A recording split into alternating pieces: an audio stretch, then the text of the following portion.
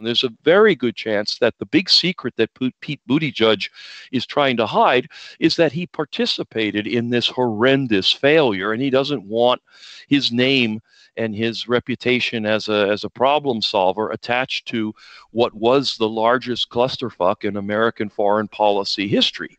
My guess is is at the end of all this, Pete Buttigieg realized he was part of this mess. It started under Bush. It continued under Obama. It was the, the, the inability to fix anything in Iraq was absolutely a seamless transition between the two uh, administrations. There was no no real change. The only thing that changed was which group was doing it. I mean, if you can imagine this reconstruction process as a series of archaeological layers, um, you know, at the if you dig down deep enough, Paul Bremer had this idea that a bunch of young kids from the Heritage Foundation and and and whatever, you know, Republican Party interns were going to uh, to privatize Iraq over a, over a long weekend. And when that failed, there was the, the next layer above that were these uh, private uh, contracting companies. I'll never apologize for the United States of America. Ever. I don't care what the facts are.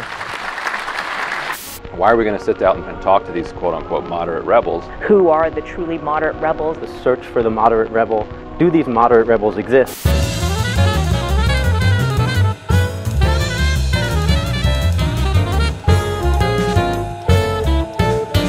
Moderate rebels. All right, welcome to Moderate Rebels. I'm here in the Moderate Rebels uh, safe house with Ben Norton, and we are about to announce our final mission uh, before we disappear off the face of the earth. Uh, we are going to read prepared statements into this camera in this dark, secret location. It's actually the same safe house Pete Buttigieg was in in Iraq.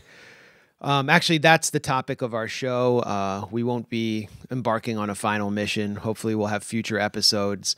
Uh, we will be talking about Pete Buttigieg and his secret mission in Iraq and Afghanistan. He has signed a non disclosure agreement, or is at least citing a non disclosure agreement, to not talk about his work uh, with McKinsey, the um, multinational consulting firm uh, which has done work everywhere from um, the Gaza Strip and uh, to uh, China to Saudi Arabia, and was heavily involved in a very uh, scandalous boondoggle in Iraq, where Pete Buttigieg was stationed. And, you know, Pete Buttigieg is currently running his version of John McCain's Straight Talk Express, where he's accompanied by you know the, the the press corps in Iowa and New Hampshire out on the primaries and he's being as accessible as possible and opening up about his life and he refuses to talk about this episode for some reason. Uh, some have speculated it's because he was actually involved with U.S. intelligence with the CIA, um, but there may be other reasons. Uh, we have a really special guest um, to discuss what actually went down in Iraq and how the U.S. wasted billions and billions of dollars uh, embarking on what was a actually a criminal occupation, um, trying to dress it up as this benevolent, altruistic, carrying the white man's burden operation. Uh, to uplift the Iraqi people, in which Pete Buttigieg apparently was heavily involved. And he refers to actually having been in an Iraqi safe house, a so called safe house, in his autobiography. So, um, to talk about Mayor Pete and discuss the boondoggle in Iraq, the U.S. boondoggle, we have uh, Peter Van Buren. Peter Van Buren is a 24 year veteran of the State Department. He was a career Foreign Service officer, and he did two uh, provincial reconstruction team missions in Iraq, which became fodder for his excellent book, We Meant Well. Um, it's called We Meant Well How I Helped Lose the Battle for the Hearts and the Minds of the Iraqi People. Um, it's really a, a, it's a very dark and disturbing book. It's also really funny and sardonic. Um, and Peter apparently was so funny and sardonic that he got kicked off Twitter. So we want to talk to him about that as well because we're both preparing for that experience. Um, you know, I'll be, you know, if I'm kicked off Twitter, I basically disappear from humanity. Same with Ben. Uh, ben just like goes up into the ether. Um, Peter, uh, welcome to Moderate Rebels. Uh, good to have you on. Um, you know, what, what, first of all, before we get into your experience in Iraq, and you also have a, a, a novel which is worth reading called Hooper's War, which came out in 2017 about the moral injury uh, U.S. soldiers experienced um, in the Pacific. But I, I want to talk to you about your experience in Iraq um, and you know putting it in the context of Buttigieg's uh, kind of reticence about his own experience. Uh, what do you make of his refusal to discuss his work with McKinsey? What was McKinsey doing there? And uh, you know, how do you think he's going to handle this? Well, first of all, you guys promised that once I did this interview, you're going to unchain me from the basement in the safe house. So that deal is still still good. All right, I just wanted to check check on that because um, it's dark down here. But only after only if the interview is good. If you okay, all right, little pressure, little pressure there, another but week um, of chains. Good, good. Well, some of it's fun. Um, I, I'm glad to say I, I don't know Pete, Pete Buttigieg. I, I don't uh, I didn't meet him, um, and I didn't work with him in any capacity in, Iraq, um, and and that's okay. McKinsey, and it, which for if your listeners are not familiar, is a massive consulting firm that does a great bulk of its work for the U.S. government. Now, consulting can cover basically anything the U.S. government needs or wants done. And consultants are often called in when there's a problem that the bureaucrats don't want to put their name on or where they want the supposed outside neutral outsiders to endorse an idea, but the bureaucrats don't want to do it themselves. They want to say, well, look, uh, this big consulting company has suggested we do X, Y, and Z. Um, it seems like a great thing, and they're neutral, so let's go ahead. Um, McKinsey is very much part of what people talk about when they talk about the in, the uh, military industrial corporate complex. They are a big part of all that. And so to ask what McKinsey was doing in Iraq and Afghanistan, the answer would be a little bit of everything. Um, and some of the work they did, I'm sure, uh, is classified, some of it less so. They work for all parts of the U.S. government and have in the past worked for uh, the the intelligence uh, community and have done classified work for the rest of the government. They've done stuff as benign, for example, as work look at the uh, State Department personnel system. I remember uh, dealing with them completely independent of Buttigieg and all this. So the answer of what Buttigieg was doing with McKinsey in Iraq is uh, an answer that I think we all need to know the answer to because simply saying he did it tells us nothing. And for a guy who wants to be president of the United States, and for a guy who openly cites his both his extremely limited military experience in Afghanistan and cites his experience, quote, in government, unquote, uh, connected to McKinsey. I think what he was doing in Iraq and Afghanistan in detail is a very legitimate topic for discussion.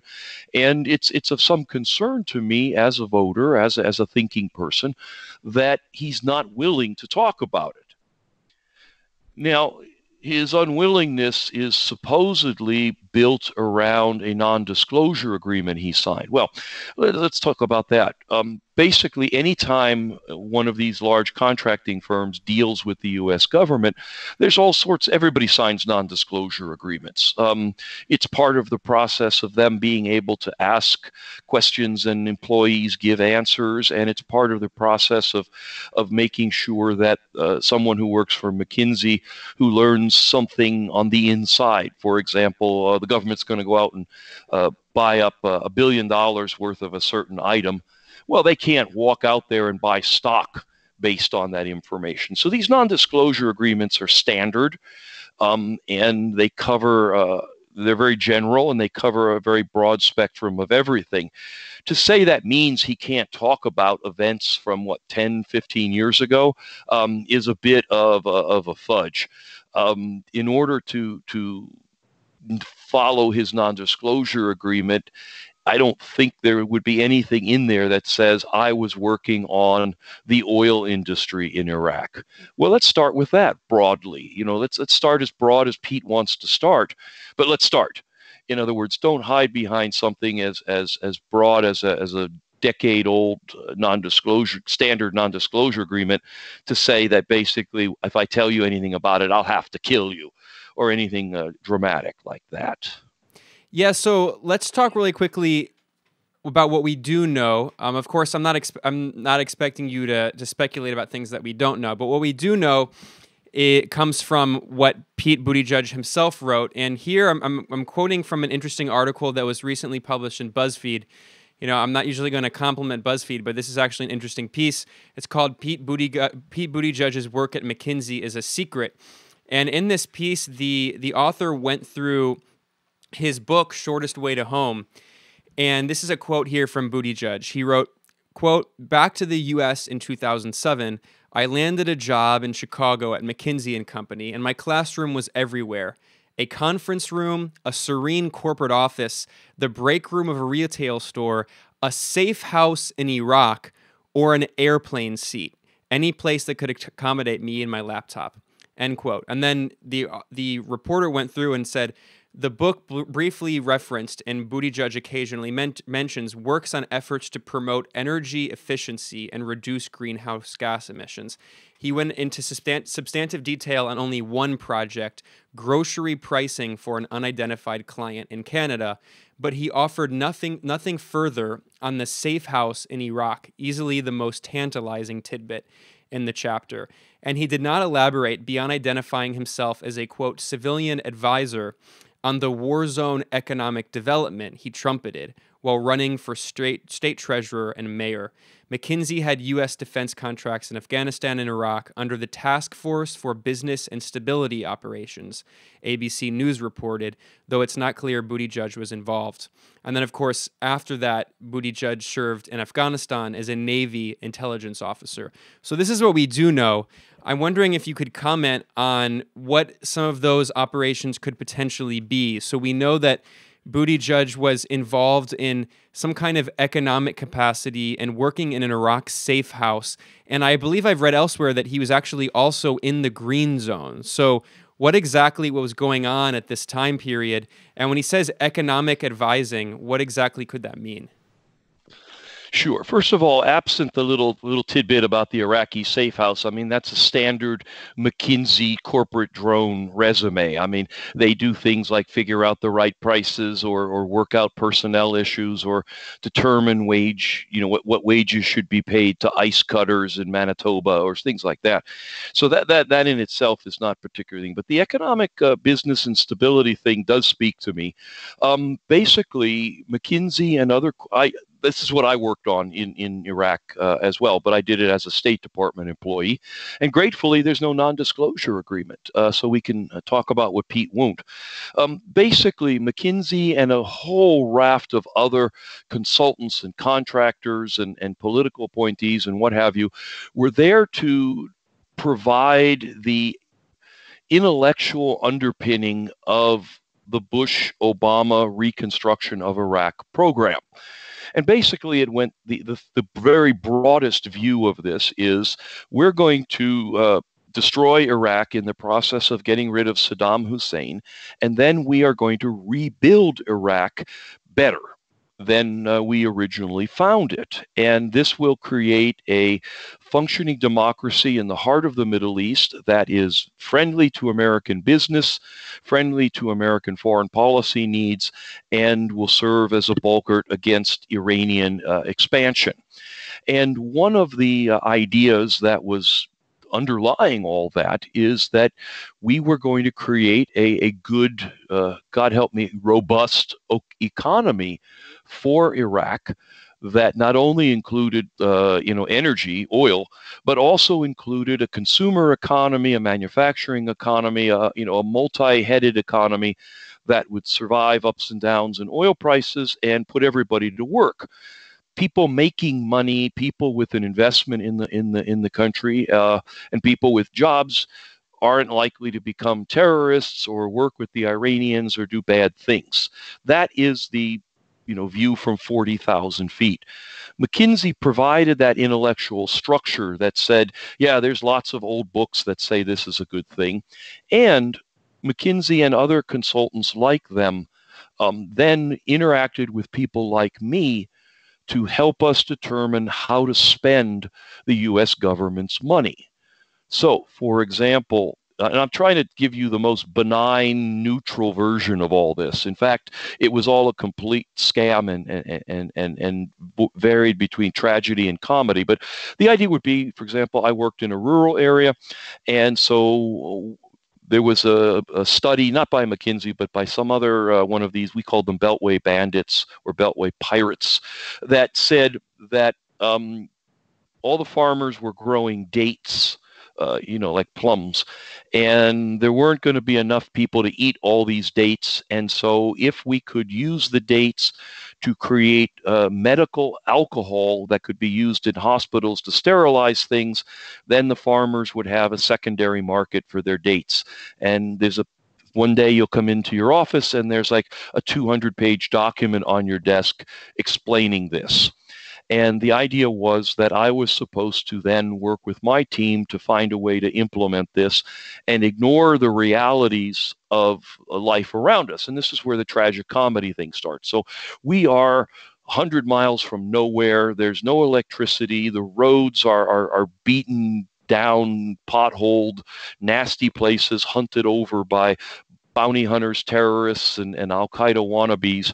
There's no trucks. There's no people who know how to drive trucks. There's no anything. The idea of creating factories in this environment and having people without any ed- formal education run those factories to produce medicinal alcohol transport that stuff to the cities where presumably it would be used is impossible it, it, it's like showing up on on a desert island. And i don't know if you ever remember the old tv show gilligan's island where they would build these wonderful machines out of bamboo and bits of string. Um, you know it, it, the idea was it's impossible. It simply cannot be done. In, meanwhile, there's also, of course, a shooting war going on, and a couple of quick internet searches determines that Iraq is buying most of its medicinal alcohol from Turkey at a cost roughly 10% of what we'd have to charge in order to make this work. The whole idea from top to bottom is impossible, stupid, impractical. And this 200 page study, which costs the US government and the taxpayers God knows how much money, is just part of everyone looking the other way. That is kind of the most benign version.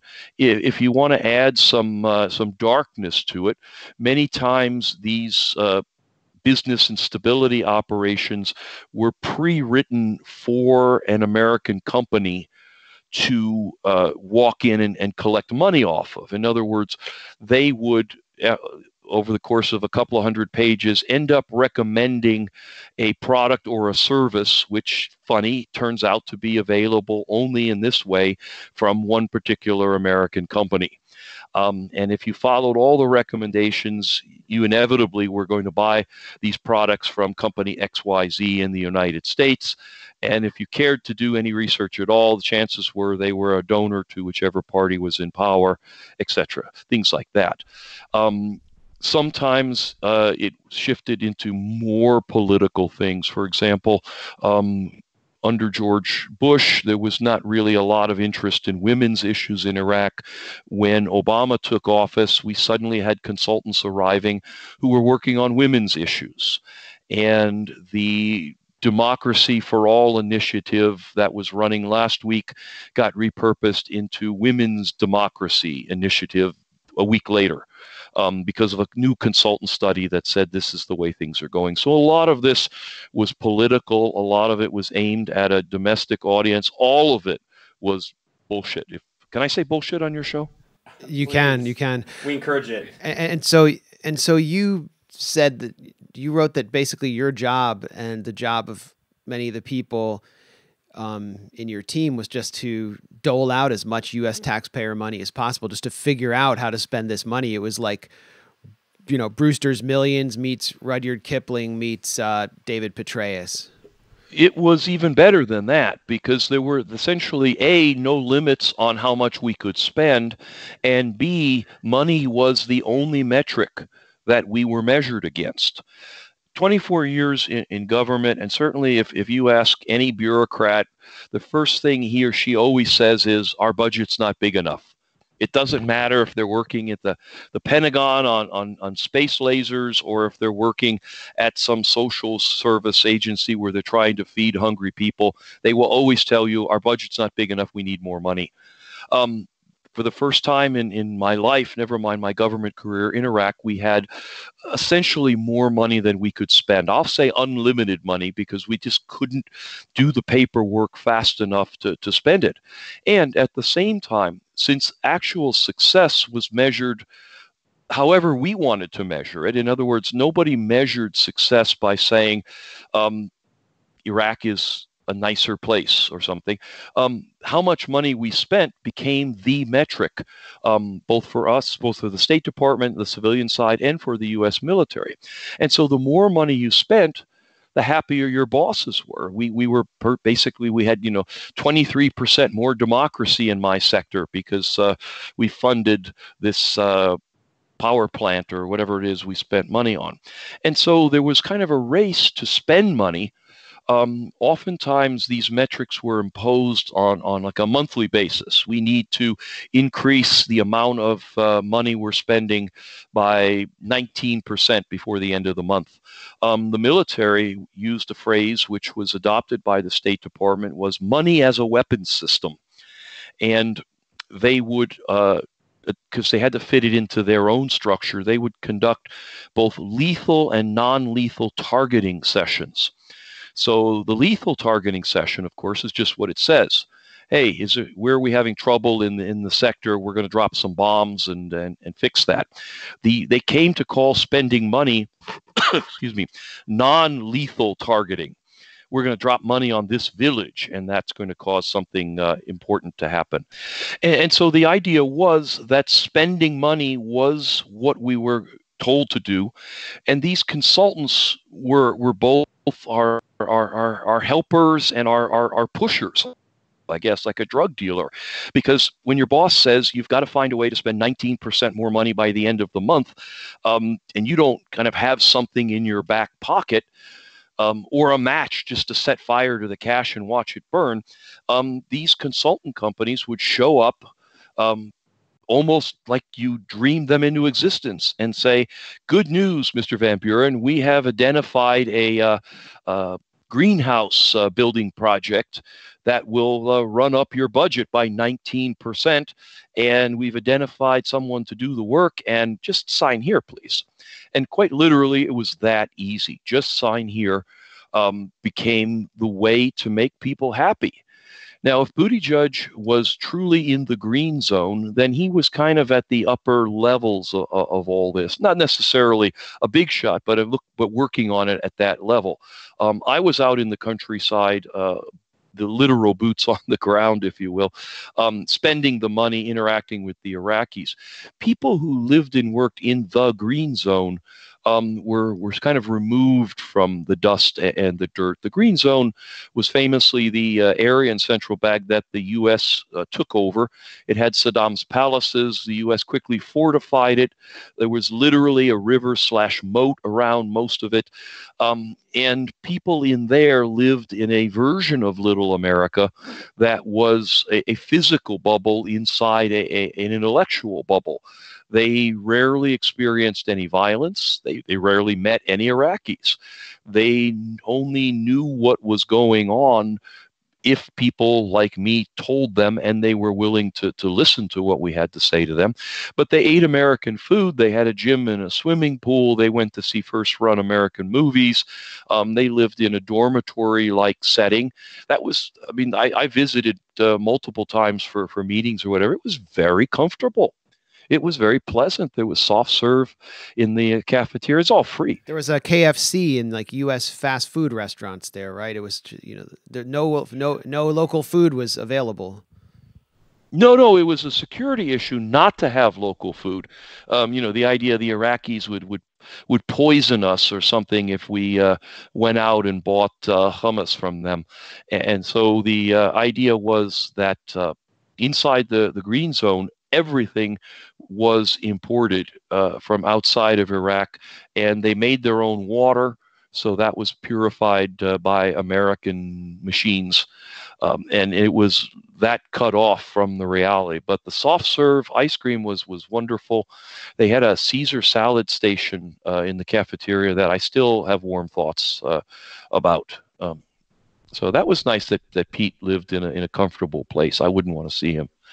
Um, and, and, and so you know, I, I read this interview with Paul Brinkley from the Pentagon with McKinsey, and he's talking about how when McKinsey came in, it was to kind of mop up after Cheney, where they just simply came in and L. Paul Bremer. Paul Bremer, you know, came in like this imperial lord and tried to privatize everything overnight, um, and brought in people who are like Heritage Foundation interns to set up an Iraqi stock market. They debathified and, you know, set the stage for the insurgency there. But then McK- uh, McKinsey comes in, and the Pentagon starts rethinking um, I guess towards the end of the Bush administration and the beginning of the Obama era. And they, he basically says that, you know, regarding state owned industry in Iraq, um, we want to get state owned enterprises up and running and then transitionally privatize. So the goal was always mass privatization. The question was at what rate, um, how rapidly do we impose the, the shock doctrine? So maybe you can talk about some of the results that you saw on the ground of you know dumping money in and you know you i think you said that uh, a gym teacher from the us was with you and she was in charge of women's empowerment um, you know were women empowered? Were was infrastructure built? And you know is this something that mayor pete could actually go out on the campaign trail and talk about with pride? Yeah well, obviously no, we the know answer the is answer. no. And while while when I wrote my book about this and became a federal whistleblower exposing all of this in 2012, this was very controversial.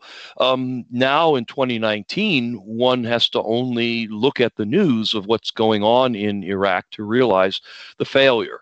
But that was far from clear in in 2012, and and even harder to discern in in, in earlier years. Um, so the people who were doing this We're doing it initially claiming to be unaware of how things were going.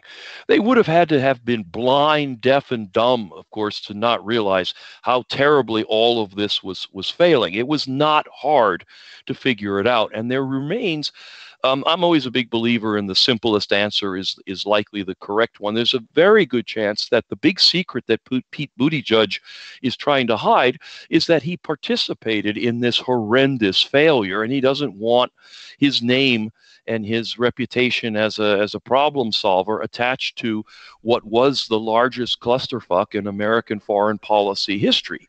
And it could be just as simple uh, as that.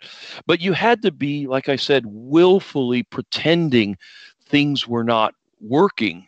Uh, uh, things were working in order to imagine you were accomplishing something.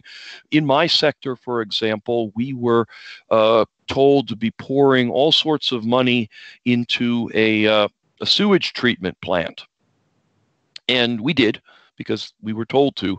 But it was also very obvious that the pumping station above you know it, it, water is it's like a chain. The pumping station which was sending sewage to our plant wasn't working. And the pumping station that was supposed to take the clean water from our station and send it someplace else wasn't working.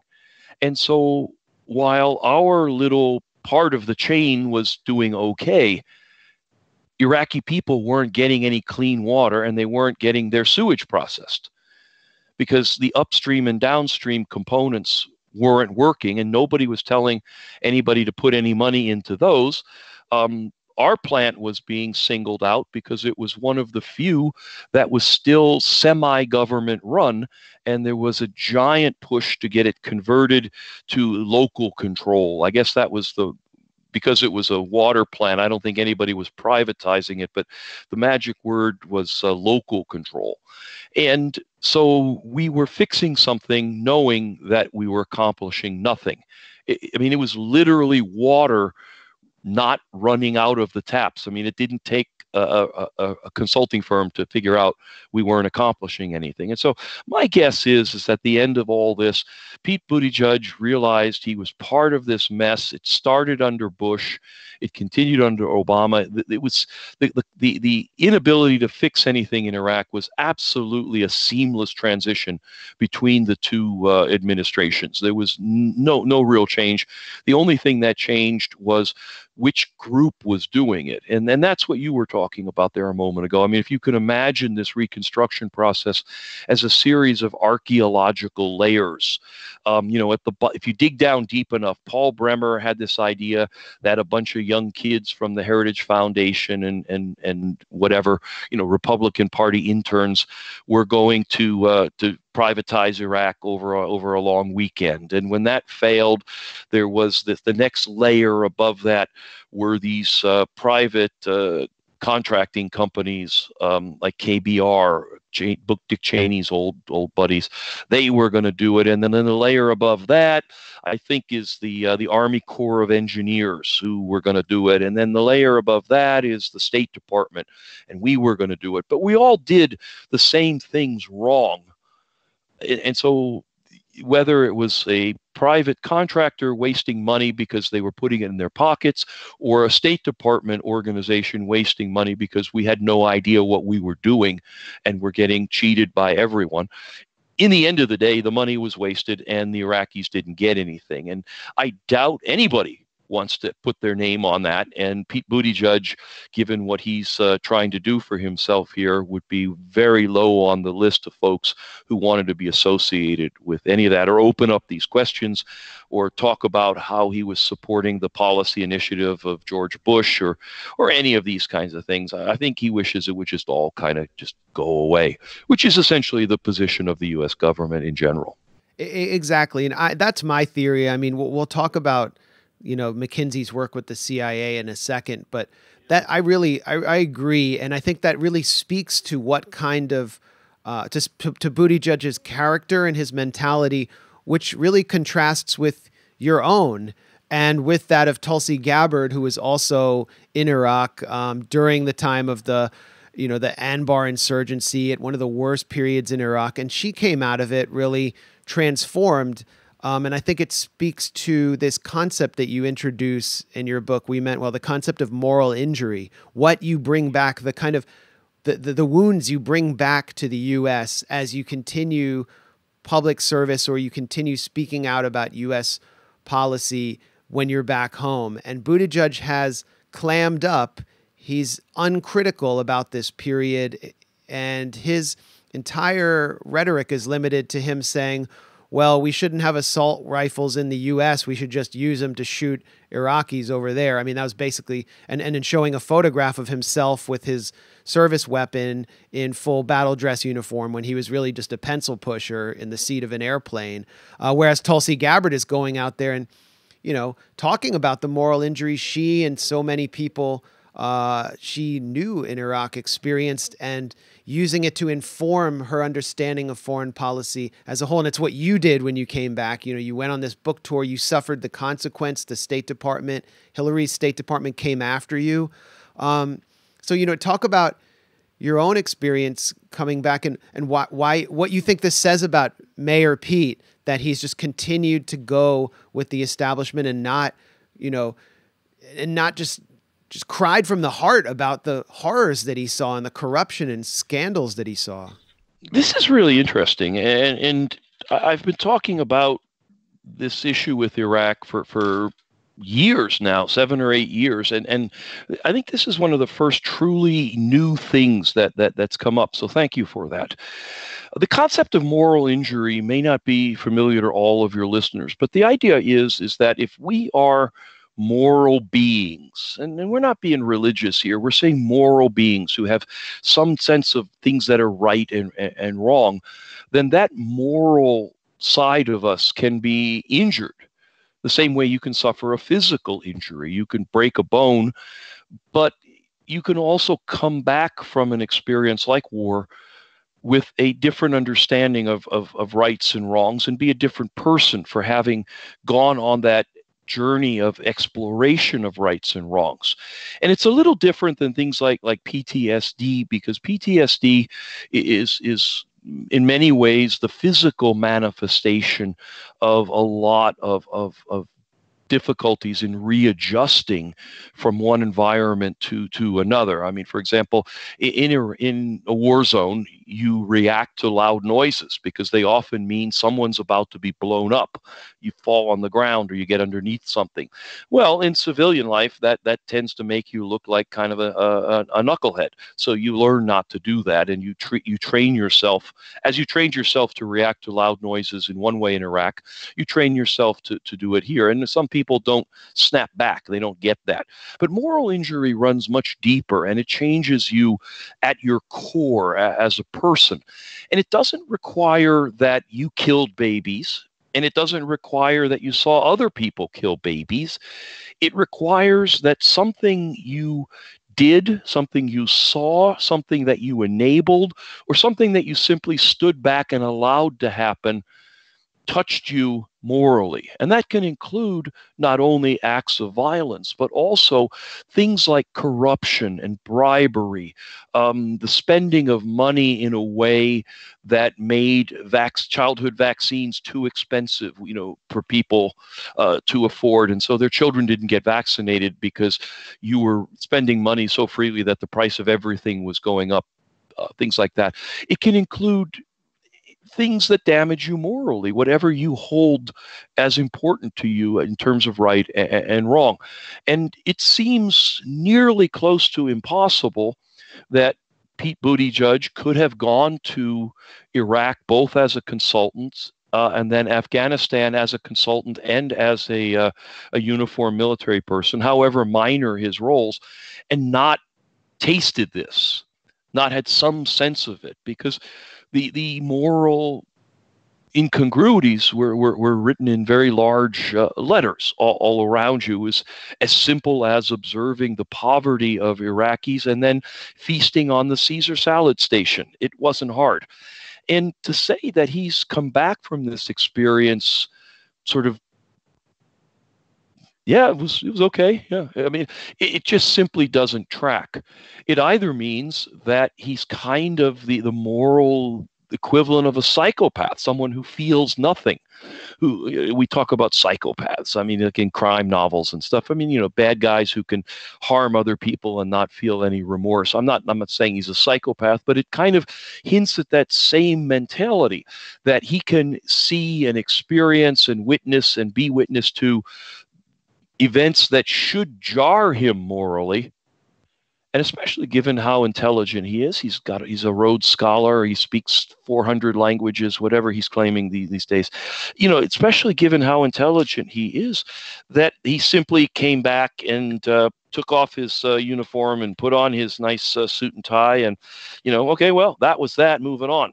Um, whereas someone like tulsi who I have great respect for, says, look, this you can't do this and not think about it, and you can't think about it and not conclude that there are moral issues that that we need to to, to sort through. And I have great respect for her being willing to do that, to not just parrot out about oh we love the troops and all that good stuff. Um, I, I, love the troops too and i love them enough that i want to see them taken care of and not just told everything will be okay. Have a couple of drinks get some sleep and you know you'll be fine. And it's shameful of course that we've seen how tulsi has been treated. Uh, she's a Russian asset, according to Hillary Clinton. She's seems to have to fight her way onto the debate stage and, and to get the attention that, that people like Buttigieg seem to be slathered in. I'd like to hear someone, uh, reporter or, or a debate uh, person, ask him about his experience in more detail. Not just what he did, though that's important, but how he thought about it, how it affected him, how did it change him, and don't let him get away with some blather about duty, service, honor, country, you know, where you just use a bunch of nice words and everyone cheers. But but you know, in my case, it it reawoken conscience in me. Uh, 24 years with the State Department, I prided myself on not having much of a, a, conscience, on doing what I was told, and not being particularly concerned uh, for example, in during the change of administrations, where what I was told today to do was different than what I was told before. Well, we got a new president, so we got a new set of rules, and here's how we're thinking about these things today. Um, I sort of prided myself on being that gray about issues of morality. But what I saw in Iraq changed me. It affected me to the point where I rediscovered my conscience. And as a whistleblower, uh, in the in the form of the, this book, We Meant Well, that I wrote, I became a different person and, and, and lost my career, lost my job, almost lost everything, almost went to jail over it. And I'd like to hear Pete Buttigieg explain why that didn't happen to him well, and judge him for that. Well, of course, we know the answer is that you know he he wants to be president, and he's running on a centrist platform where not only is he refusing to criticize these wars, but in the last Democratic presidential debate, he and Warren were asked what they would do with the military and whether or not they would expand it, and they both said that they would. Eh, so it's it's it's pretty clear that he's becoming. I mean, even more than Warren, he's becoming really the kind of uh, even almost neoconservative, or at least this kind of like centrist candidate, where you know he he defends all of these wars and says that you know maybe there were some issues, but they were justified. And and uh, I do want to talk a bit more about um, Judge and his role in in Iraq, but maybe we can talk a little bit more about McKinsey for a second. Um, although there was one thing you said, I, I got to just say this on the record. Um, this this PR thing where Buttigieg pretends to speak multiple languages. I'm com- completely calling BS. I've watched some of these videos. As someone, you know, I, I've studied several languages, and I, I, I would never. He claims to be fluent in six, which is a complete lie. I would never claim to be fluent in, in all of these other languages. But if you watch the videos, what he'll do is he'll speak like one sentence in some language, which is usually a purpose of nothing. Like someone will ask him a question about Gaza, and then, and then in, instead of dealing with the issue of, you know, Gazans living in this massive open air prison, he'll just start responding in Arabic, and he'll say like a few sentences you learn in a 101 Arabic class. Um, his his language knowledge, I think, is very cursory. But but anyway, aside from that. Let's let's get back to uh, McKinsey really quickly. Um, Max kind of alluded to this. I, I want to ask you about if, if you know about this about McKinsey's role um, not just in Iraq, but specifically with the CIA. And I, I got up a, an article here in the Washington Post. This is from 2015. It's called CIA has paid millions to a consulting firm to help with reorganization. And this became a pretty big scandal within intelligence circles where essentially a lot of people accused, including some government officials, accused McKinsey of squandering many millions of dollars that, that were paid by the CIA. And it looks pretty dubious. Like maybe some people were you know, in, in a case of potential corruption, they were just filling each other's pockets. The C- and this is from the Washington Post story four years ago. The CIA has paid more than $10 million to a management consulting firm advising senior U.S. intelligence officials on a broad reorganization that agency director John Brennan began earlier this year. And then it's talking about, you know, some of the payments have been viewed with skepticism by some people in Capitol Hill. Several current and former U.S. officials said they were surprised by the magnitude of the consulting contract, what is the rationale when you're talking about millions and millions of dollars? There ought to be a reason why the money is being sent, said one U.S. official familiar with the contract.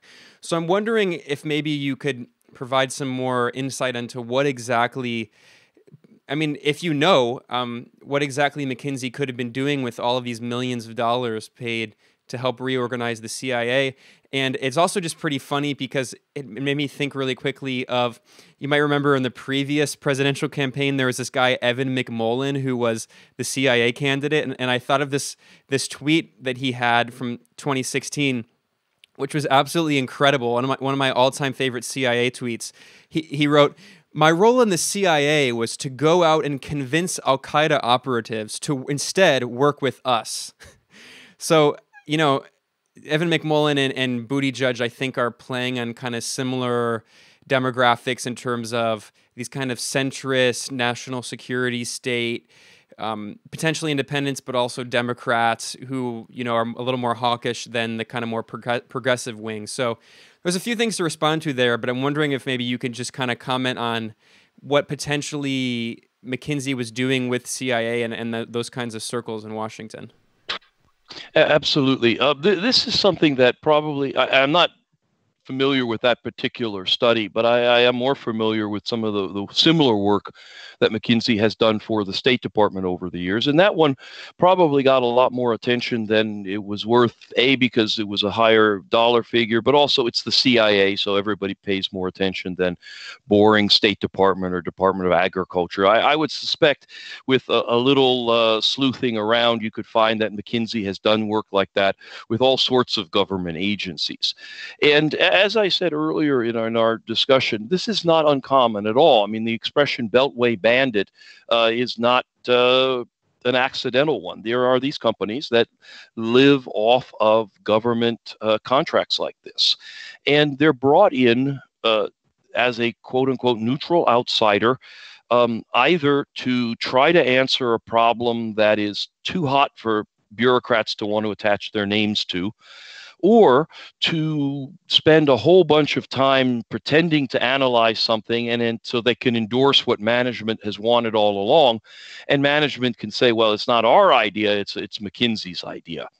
Um, in the case of the the state department the one study that i was uh, tangentially involved in had to do with uh, our evolving workforce. Um, we had uh, we had started we had t- started to take in uh, a more diverse uh, workforce of entry level uh, diplomats. I mean, diverse in, in not only in the traditional ways in terms of uh, race and, and religion and what have you, but also um, in terms of background experience, age, fill in the blank, all all this, and we were managing it very poorly. We didn't really know how to interact with these people, and rather than actually try to fix the problem, the State Department paid McKinsey to come in and conduct a whole bunch of interviews and write a whole long report that that really didn't amount to much of anything. I mean, the best parts of it were sort of common sense, like talk to each other more. Um, and the worst of it was silliness about creating new training programs about diversity that were that were going to become mandatory. And we're, of course, McKinsey was going to be developing those programs for us at, at great cost. So there's an awful lot of this, and and I, I hate to to not be able to kind of fan any conspiracy flames for you, but most of it is is nefarious only in the sense that it's extraordinary wastes of money. Um, they're not trying to accomplish much of anything. Somebody wants to say, hey, there was this problem under my watch and I commissioned a study. If the next guy doesn't fix it, it's his fault, not mine um, or we've always wanted to reorganize along the following lines. The rank and file won't accept it, so we're going to hire a contractor to come in and tell us it's the best way to do it, and then everyone will have to accept it. So an awful lot of that kind of thing gets done. It accomplishes nothing. It just churns things around. And these consultant firms charge extraordinary amounts of, of, of money to do this. They are able to. It's like a law firm. You know how uh, uh, if if and if you've ever had to pay legal fees, lawyers charge you by the, the, the, the hour and they're allowed to it's in the contract you sign they're they're allowed to consider anything over a certain number of minutes an hour i'm just going to make one up and say anything over 42 minutes is an hour so the idea would be that they could be paid by you for one hour of their work uh, for 42 minutes, and then they can be using the next, uh, the other 18 minutes of that hour to work for someone else, and they can be paid double for that period of time and that's that's how their business works. And, and, so these consulting companies do the same thing. They're they're paying one of their own employees $65 an hour to uh, conduct interviews but they're billing the US government $265 an hour for blah blah blah overhead blah blah blah blah blah blah um, certainly once you get travel involved, these folks uh, do not travel. Uh, they don't stay at the U.S. government rate motel, notels, and they don't travel in super saver economy class. They tend to travel in business class and stay at better facilities. Um, and they tend to have things in their contracts that say you, you should you don't have to take the red eye and arrive at the airport an hour before the meeting. Come in the night before. That's how uh, these things work. And so they, they are able to charge enormous amounts of money for very very basic stuff. Like i said oftentimes the the, the highlights of their work are, are common sense. Um, they also do and this has nothing to do with Buttigieg, but they also do, for example, a lot of technical consulting on computer systems and things like that, where they can charge even more money.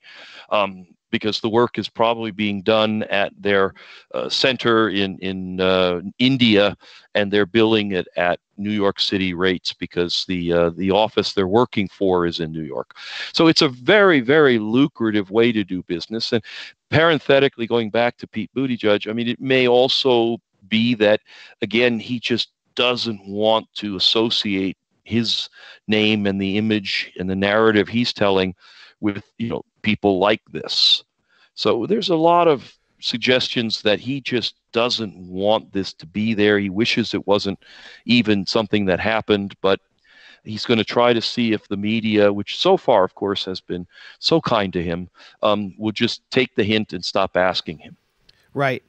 Uh, yeah. My, I mean, my problem with um, McKinsey is not that they've been involved with the CIA and that Mayor Pete might still be an active CIA asset, which is the kind of conspiracy theory going around. And, you know, who knows? There may be some conspiracy facts there. I can't prove it. But what I do know is that, you know, I have a big problem with what McKinsey does in the open, and that should be the issue. I did a piece uh, back in 2014. I just kind of finished covering Israel's assault on the Gaza Strip, had been there, had seen them just destroy, you know, not entire cities in just this kind of medieval fashion. And then, you know, John Kerry comes in at an international donors conference in Egypt with the kind of international janitorial crew and realizes, well, nobody really wants to donate this time because Israel keeps blowing up all of their projects. So he brings in McKinsey after proposing this $4 billion reconstruction plan. And McKinsey produces this bizarre document uh, for you know rebuilding the Gaza and the West, the Gaza Strip and the West Bank, um, which had been circulated among Palestinian businessmen. So I, it was leaked to me.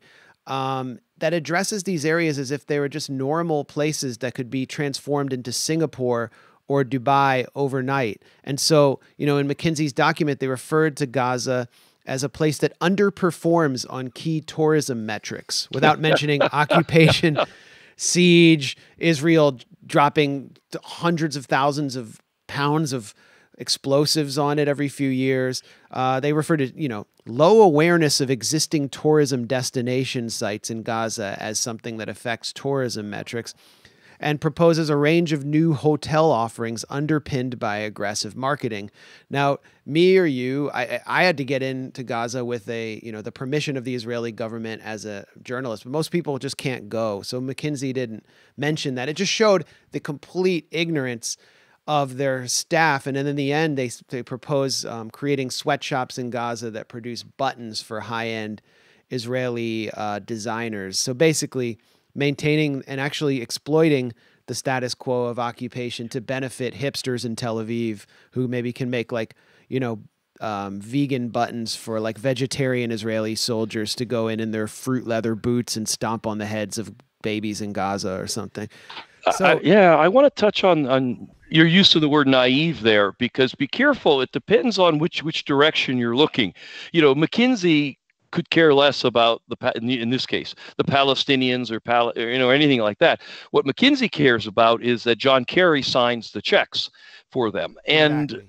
so they are going to produce for him a report which says what he wants it to say, which is basically we can fix this. Most of the problems are the Palestinians' faults because they're underperforming metrics or whatever. Um, and that's the kind of thing that McKinsey and other consultants, I mean, seriously, I can't tell you one of them that, that isn't that way. That's how they work. And back to Buttigieg, there's an excellent, excellent chance that there's paper out there with his name on it that says stupid things like that about Iraq. and because tourism was one of the areas that was going to be uh, a big big boom for iraq by the way. Um, and so there's a very good chance there's a report where Pete Buttigieg, judge you know, talks about how the Iraqis have undermarketed themselves uh, during the Saddam years, and that uh, there's a big interest in uh, tourism that is untapped, blah blah blah. And he's just embarrassed to have to answer to this stuff. I mean, especially in the way that things work in modern times, where literally anything you've ever written in your entire life is subject to, uh, you know mockery on on social media. Right. I'm sure that has a lot to do. The question is, I think bringing it all home. And, and this goes back to the language issue as well. You had mentioned, and I agree with you, that he's full of it. He doesn't speak these languages. He knows he knows a few words that like that tourists pick up when they're traveling, you know, or or you remember from your, your class, your Spanish class in high school or something.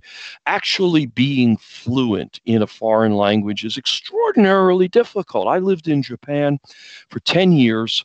Um, including two years as a student, and and I would be hesitant unless I'm trying to show off to claim I'm I'm fluent. Um, and so all these folks who walk around claiming multiple fluencies, what what it tells us though, forget about that. Everybody brags about foreign language skills or whatever. Um, it tells us something about the, the the man himself, and that's something that voters have to judge, because we all know that who whatever president, whatever candidates promise the day they become president, the world starts changing and things start happening. We have to elect a person that can handle that.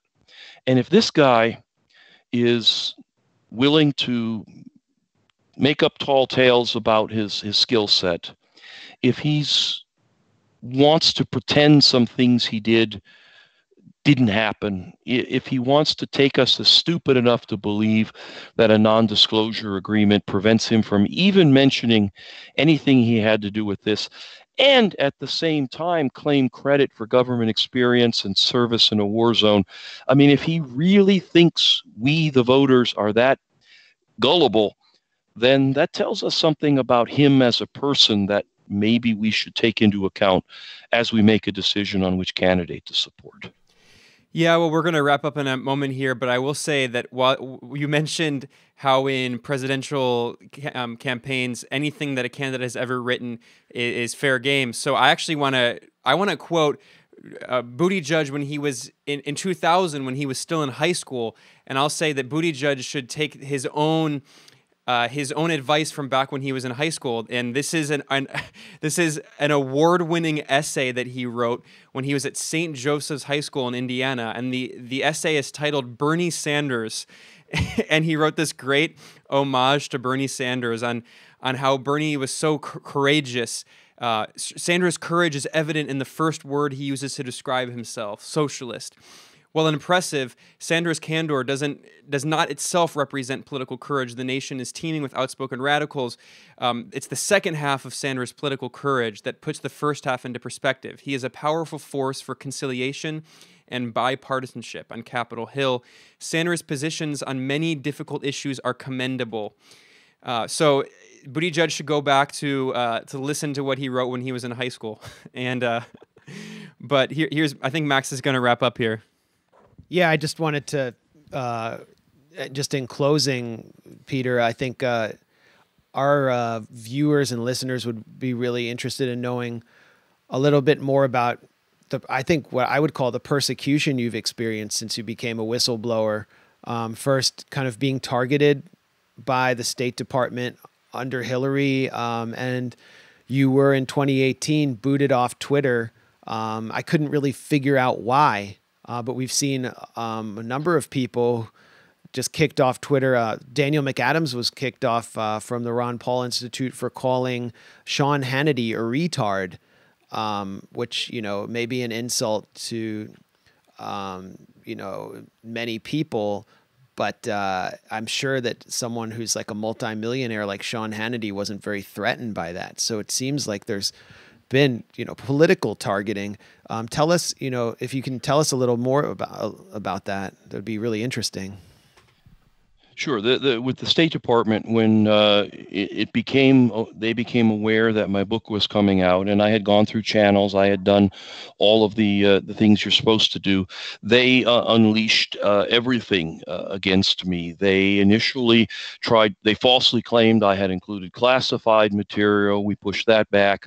They falsely claimed that I had done some things at work that were not work related. We pushed back against that. They eventually just basically said, We just don't like you doing this, and we can't, we failed to prosecute you.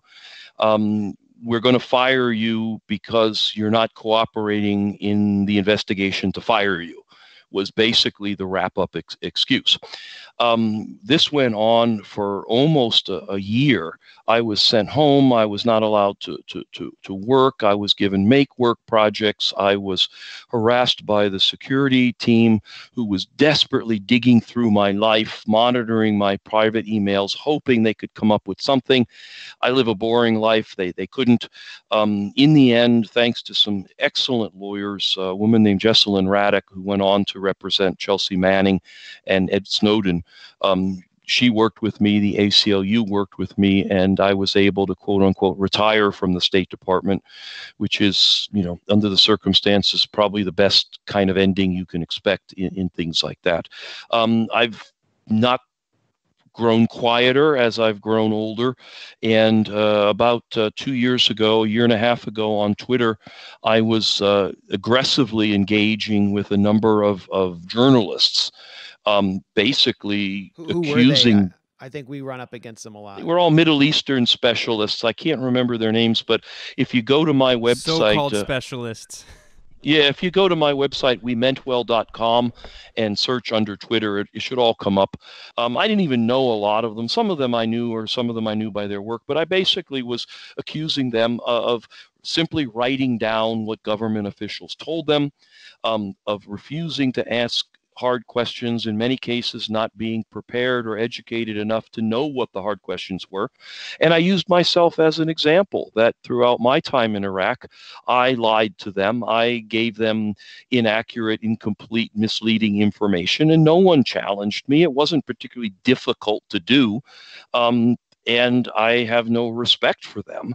And they kind of did that Twitter hive mind thing where I guess they were they got all their their friends to to claim that I was harassing them. And then finally, uh, this was on a Sunday night. I was actually watching. Uh, forgive me, it's a it's a it's a flaw in me. I was watching The Walking Dead on TV. There's something and, wrong with that. and I said, I said to one, reply to one of these guys, I said, I hope a, a, a MAGA, you know, Make America Great Again zombie bites your face off, or something like that. Um, and he oh, and they said that it, was like a, th- a, death threat or something. yeah, he name. reported it to Twitter as a as a death threat, and Twitter at that moment uh, banned me forever um, no appeals, no questions. If uh, I later was able to recover uh, most of the tweets, and if you go to um, my blog, you can read them there. Um, there's an article about it on the American Conservative where I do some writing. Um, but basically, it was to shut me up. It was, you know, you're you're you're pecking a little too close to the bone here, reminding people that journalists uh, mainstream journalists, I should say, I should be careful. Mainstream journalists often are just stenographers for the government.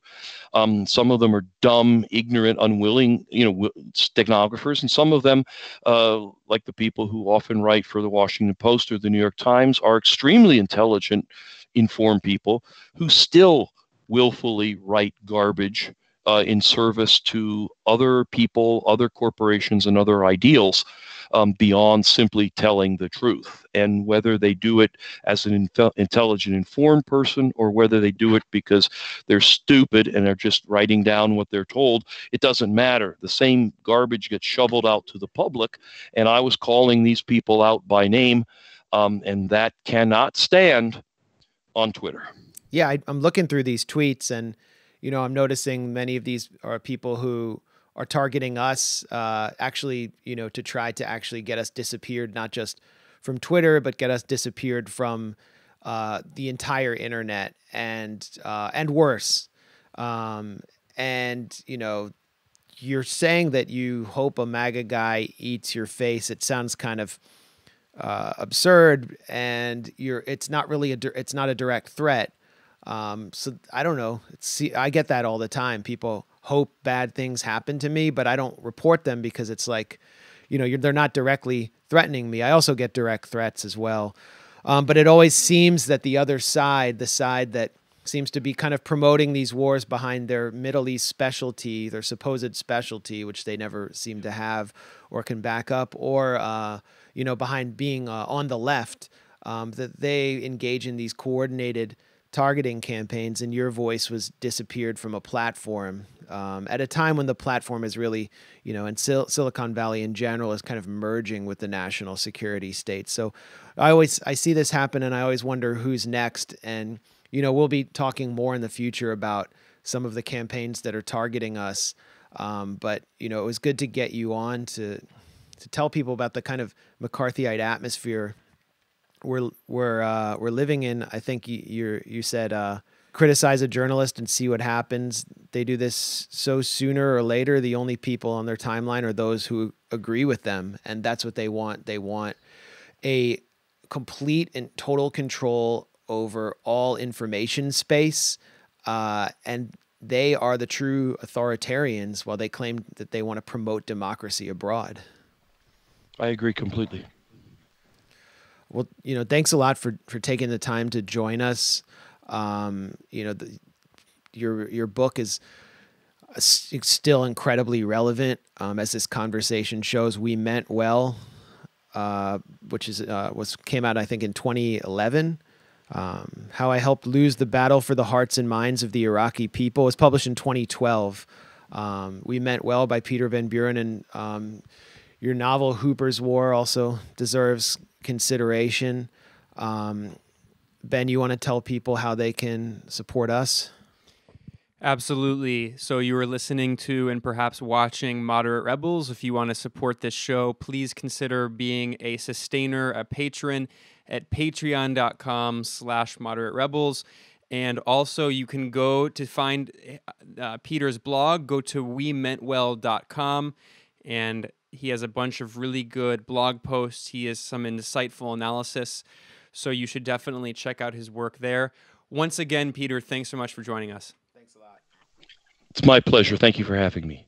Thanks for listening, and we're out.